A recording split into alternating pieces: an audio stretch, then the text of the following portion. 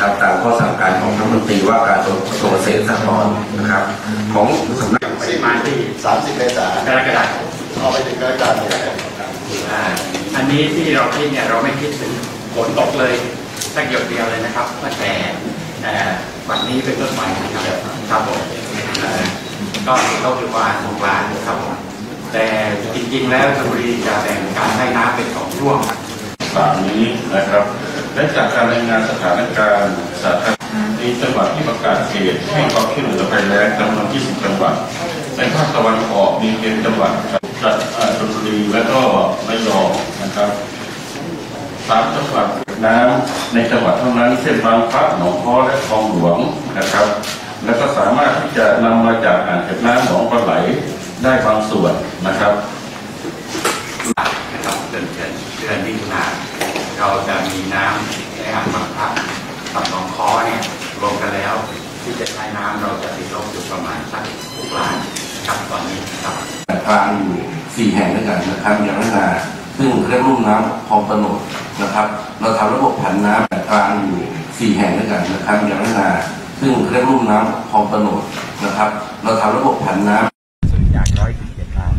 ประมาณสี่สิบสี่สิบเปอร์เซ็นต์สี่สิบร้อยสี่สิบเทียบกับปีที่นี่ครับกับหนองค้อกับหนองคอเนี่ยครับ หนองคอสองอ่างเนี่ยคือดูทั้งหมดมีของแล้วก็โซนพัทยาอีก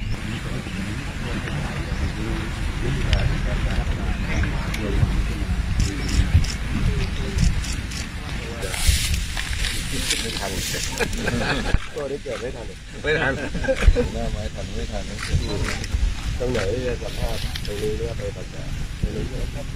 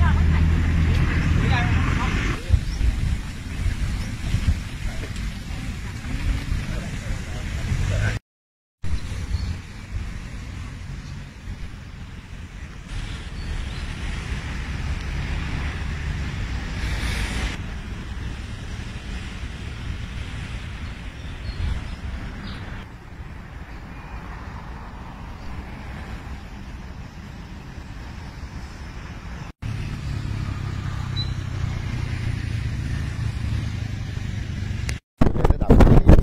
น่าพอใจ นะครับยังอยู่ตามแผน ซึ่งทางภาคตะวันออกเดิมเนี่ยกำหนดไว้6บวก2นะเริ่มปี 62ตั้งถึง30เมษายนปี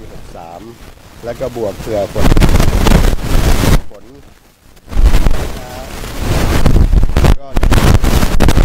ความที่ไม่ ภาคท่องเที่ยวการเกษตรก้าวสู่การแข่งขันการเที่ยวก็พยาแล้วนะครับเพราะฉะนั้นถึงได้ได้มีการจัดการน้ำอย่างเข้มง วด แม้ว่าดูแลในเรื่องของเรื่องการ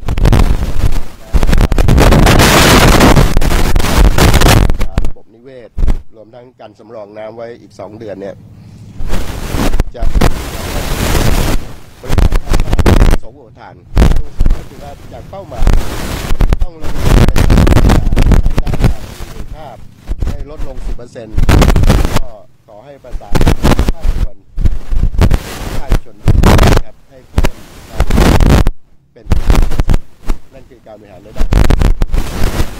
การที่สองคือด้านของพายไซต์ก็คือด้านอุปทาน ก็บริหารน้ำอย่างระมัดระวังเข้มงวดกวดขันแล้วก็ให้ทีมแมนวอลรูมเนี่ยในภายใต้ศูนย์ปฏิบัติการน้ำของกรมชน แล้วก็ศูนย์แห่งชาติเนี่ย จะเพิ่มความถี่ในการรายงานนะตามเรียลไทม์เลย ซึ่งส่วนนี้เนี่ยจะทำให้การบริหารในด้านของประธานของเราเนี่ยสามารถทำได้แล้วก็สามจากสองเป็นหกบุกซึ่ง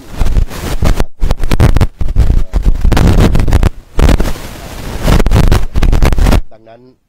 ในทั้งหมดที่มีจะต้องจะต้อง